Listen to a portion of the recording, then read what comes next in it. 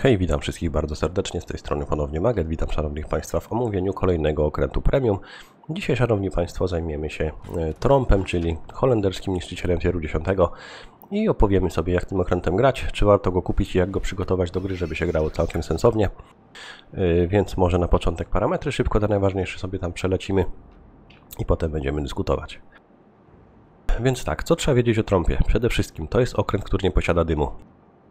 I to jest dosyć spore y, utrudnienie ze względu na to, że artyleria tutaj taka jest no, przyzwoicie użyteczna, bo mamy y, 3 razy 2 150 mm o zasięgu 13,2.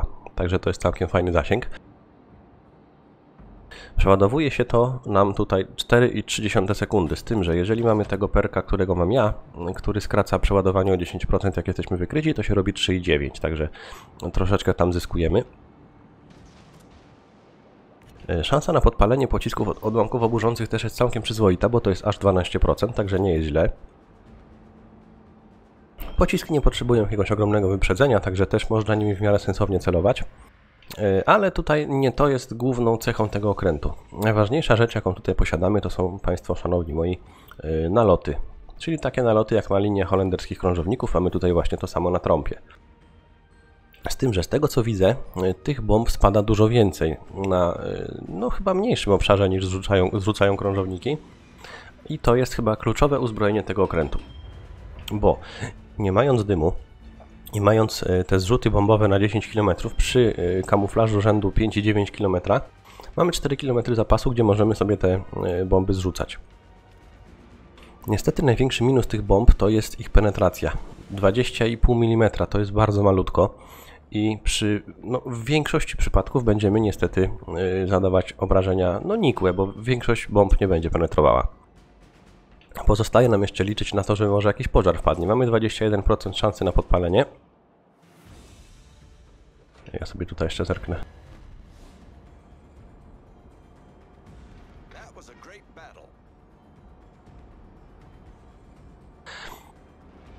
Y, WoW 60 sekund to jest bazowa wartość, ale można sobie to ulepszeniem troszeczkę podbić.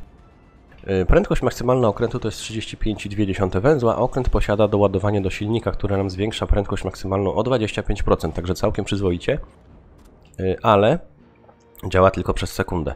Mamy też rozbicie, ale to jest troszeczkę żart to rozbicie, powiem Wam szczerze, ze względu na to, że zasięg wykrywalności z powietrza tego okrętu to jest 3 km, a zasięg pelotki to jest 3,5, także no przydałoby się jeszcze z kilometr chociaż tej pelotki, to wtedy byłoby to jakoś sensownie do wykorzystania. Ona coś tam zestrzeliwuje, nie powiem, że nie, no ale 500 metrów zapasu to jest bardzo malutko i bardzo trzeba uważać, kiedy tego y, używać.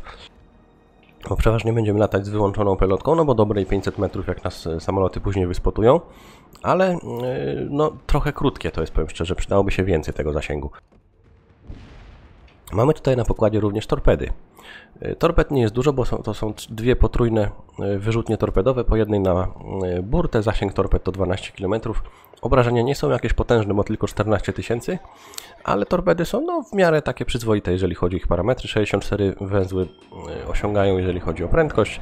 Wykrywalność to jest kilometr 300, czyli czas reakcji wynosi tutaj 7,6 sekundy. Nie ma tego dużo, nie jest to jakoś szczególnie użyteczne. Ja tych torped używam tak bardziej jako odpal i zapomnij, może ktoś się nadzieje. Bo przy zasięgu 12 km można na to liczyć. I co utrudnia najbardziej rozgrywkę na trąpie? Nie inne niszczyciele, bo mamy tutaj całkiem przyzwoite kamo, czyli 5,9 to naprawdę jest spoko. E, Przy artylerii kalibru 150 mm to możemy sobie z dedekami powalczyć. Niestety nie mamy naprawki. To jest problem w takiej sytuacji, gdzie okręt bez dymu nie ma naprawki, a nie jest jakiś szczególnie szybki, bo to nie jest prędkość, którą osiąga Kleber, Marso czy inne takie okręty. E, Tutaj mamy okręt 35 węzłów pływający około. Bez naprawki i bez dymu, także trzeba grać ostrożnie. Jeżeli, nie daj Boże, rzuci nam y, do bitwy lotniskowiec, to w zasadzie mamy pograne, bo jeżeli on będzie nas świecił, to jesteśmy totalnie bezużyteczni. Y, Próbując wypuścić obie y, z obu wyrzutni torpedy, musimy dosyć sporo manewrów wykonać, bo jedna wyrzutnia jest na jednej burcie, także musimy się obrócić. Do tego te torpedy no nie są jakieś porywające, także jest ich mało, ciężko będzie nimi zrobić jakiś sensowny damage. Bardzo rzadko mi się coś udaje nimi trafić. Ale czy ten okręt jest fajny? Powiem Wam szczerze, długo się zastanawiałem nad zakupem tego okrętu, ale mówię, a spróbuję. W sumie może jakaś odskocznia będzie od tego, co standardowo mamy w grze. I powiem Wam, jestem zadowolony, także naprawdę nie narzekam na ten okręt. Jest to pewnego rodzaju właśnie taka zmiana. I nawet jeżeli nam matchmaking dopisze, nie będziemy mieli lotni, będziemy w stanie sobie do kogoś tam podejść, będzie takich okrętów pływających niezbyt szybko sporo, to będziemy mogli z tych bomb naprawdę sporo fajnego damage'u zrobić. E, Zagrałem dopiero bitwę, w której no padłem jak gówno, bo wypłynąłem na dużą ilość okrętów przeciwnika i szybko mnie zmielili, ale zrobiłem pełen zrzut na Minotaura. I jeżeli te bomby trafiają w pancerze, które są w stanie przebić, to naprawdę robią fajny damage. Yy, Damage tych bomb bazowo to jest 3700 yy, punktów, także całkiem spoko po- z jednej bomby. A spada ich ile? 6 na samolot, a ile leci samolotów? 12. Czyli mamy 24 bomb... nie, więcej. Tak mi to się liczy? 60 bomb było? Ponad? Aż dziwne. Ale przyjrzyjmy się, jak będzie to spadało tutaj. Może zaraz pewnie będzie zrzucane niedługo. To sobie zobaczymy. Jeżeli mamy w bitwie lotnie i ona będzie nas spotować, to nie jesteśmy w stanie w tej bitwie zrobić nic. Zobaczcie, że tutaj większość tych bomb jednak nie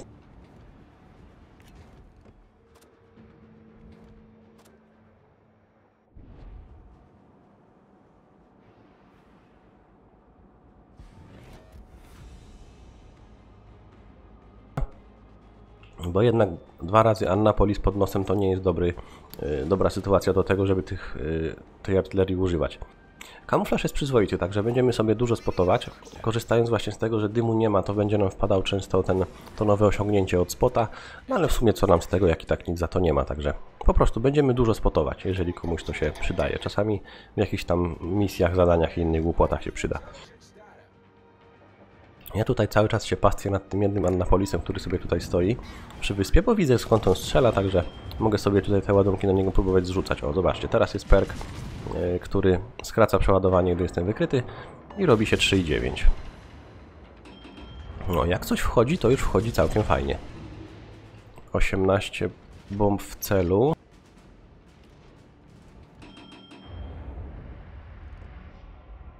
nic nie podaje, także ja sobie to potem jeszcze sprawdzę, albo napiszę w komentarzu, albo w opisie filmu y, odnośnie tych ilości tych bomb, bo jeżeli to by spadało 60 bomb, to naprawdę jest to masakryczna ilość.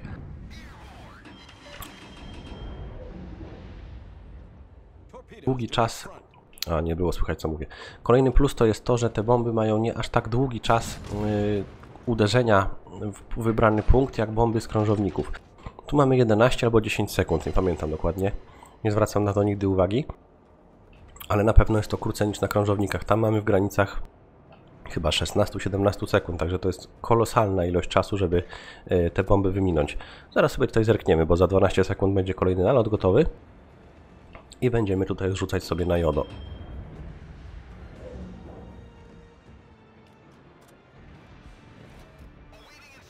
Ile to jest sekund?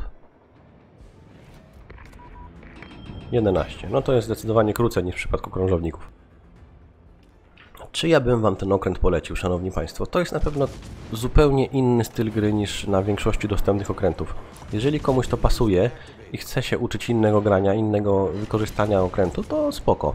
A jeżeli ktoś chce robić po prostu to samo, co robi na innych okrętach, tylko lepiej, no to to nie jest taki okręt. To jest raczej okręt wsparcia. Ze względu na te torpedy, to raczej nie będziemy jakimś tam szczególnie okrętem do torpedowania.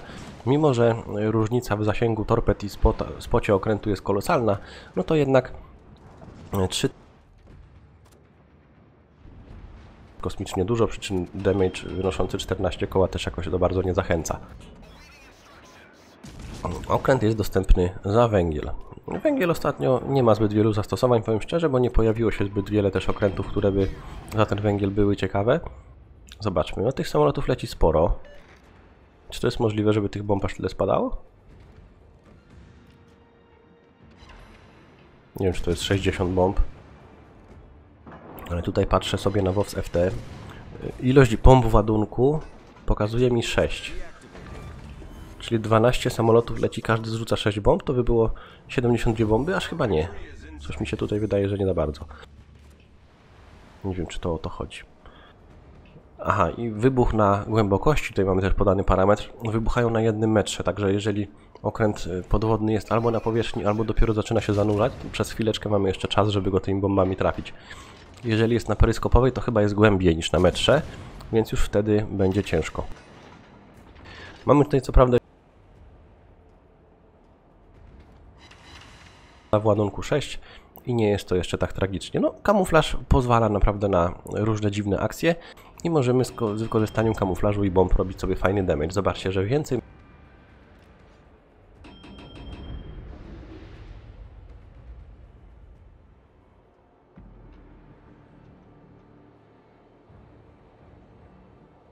ale mamy tutaj 10 pożarów, także jeżeli e, będziemy chcieli ryzykować najpierw podpalić bombami albo artylerią, a potem odwrotnie, no to tych pożarów możemy generować i troszeczkę przeciwnika palić, także to jest całkiem spoko opcja.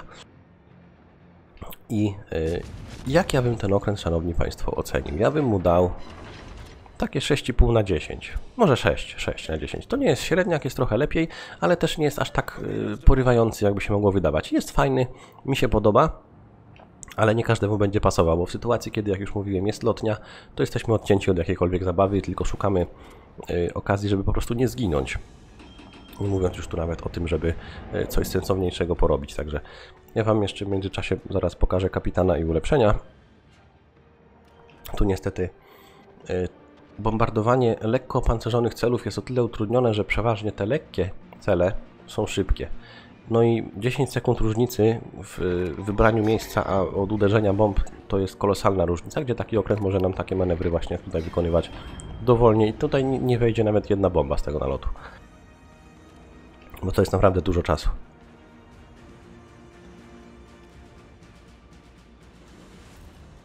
Tak się prezentuje, szanowni państwo, kapitan. Tutaj zamiast nadzorcy y, za 3 punkty można sobie wziąć jeszcze ewentualnie adrenalinę ale ja sobie wybrałem coś takiego, bo tych torped za bardzo nie będziemy używać, także perk na torpedy nie jest tu jakiś szczególnie konieczny. Chyba, że chcecie ich po prostu więcej wysyłać, także można skrócić przeładowanie o te 10%, czyli ile tam jest, chyba 10%. I wtedy po prostu częściej pluć tymi torpedami i liczyć na to, że ktoś może w końcu którąś chapnie.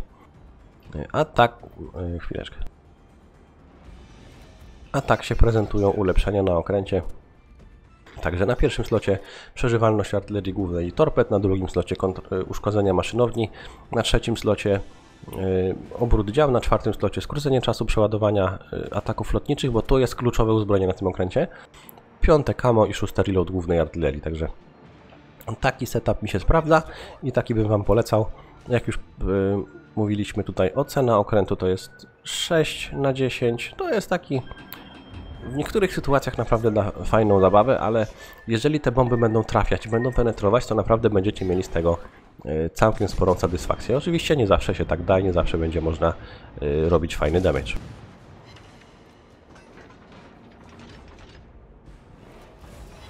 To w międzyczasie się nic fantastycznego na ekranie nie wydarzyło, także mam nadzieję, że Wam za bardzo nie zasłaniałem, ale już powolutku będę sobie przyspieszał, bo teraz będę tylko próbował torpedować i bombardować e, dwa Annapolisy wychodzące gdzieś tam z tyłu, jeszcze spotkam się z Kleberem, także 80 e, udało się ustukać, mamy dwa fragi, 100 bomb trafionych, także e, bomby są naprawdę fajne, ale trafienie nimi to jest jedna sprawa, a druga sprawa jest trafienie nimi tam, gdzie byśmy mogli zadać fajne obrażenie, to jest druga sprawa bo jak widzicie 20,5 mm penetracji to jest mało. O, tam nam, a nie, to nasi zabili.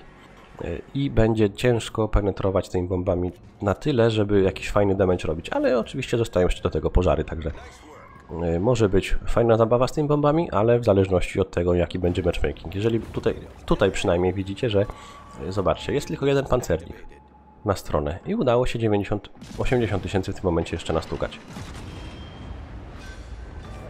Mamy trzeciego fraga i teraz będą płynęły te dwa Annapolisy w kierunku KPB. Gdzieś tam jeszcze Yoshino, także bitwa do ostatnich minut. Yy, czy ten okręt kupić? Można, można. To nie jest taka, taki okręt, którego zakupu będziecie żałowali, ale na pewno nie będzie on Wam się sprawdzał w każdej sytuacji. Zobaczcie, trzy braki penetracji, ale chociaż pożar. I teraz próbujemy trafiać torpedami, czekamy na kolejne zrzuty, żeby ten pożar kontynuować, bo jednak strzelanie z głównej artylerii przy yy, Annapolisie, który może nam wypluć te trzy szybkie salwy raczej może nas szybko wysłać do portu. No i tutaj zaczynamy y, taniec, bo albo, no pięknie wpłynął. No, tylko 5 bomb spenetrowało. Na 13 trafionych. I tym razem niestety bez pożaru. No i brak dymu na pewno wpłynie na to, że będziemy dużo spotowali. Zobaczcie, 150 tysięcy ze spota jest zrobione. To przeważnie na lotniach takie wyniki się osiąga, albo na Smalandzie, Halandzie, czy innych takich właśnie okrętach, które dymu nie posiadają. Marso, bo tam cały czas widzimy wszystko, co, co nas interesuje. Znaczy takie celowanie, celowanie, ale niestety nic z tych bomb znowu nie weszło. No. No i pędzimy, bo to już końcóweczka bitwy jest, także podsumowując 6 na 10, ale można sobie ten okręt sprawić, nie będziecie zawiedzeni. Jeżeli y, przydarzy Wam się taka sytuacja, że będziecie w stanie wycisnąć z niego maksimum, to myślę, że fajnie da się pograć. Oczywiście nie zawsze, bo będą sytuacje, kiedy y, ciężko coś z niego wycisnąć, ale można ten okręt w porcie mieć, jeżeli oczywiście nie, mia- nie macie na co wydać węgla, bo są też y, ciekawsze pozycje do zakupu. Kolejne próby trafienia bombami. I to już ostatnie sekundy bitwy. Tu Ktoś tam chyba dostanie te torpedy i będzie po bitwie. Chyba ten Annapolis właśnie dostanie. I to jest koniec. Także w tym materiale wszystko. Dzięki za uwagę i do usłyszenia.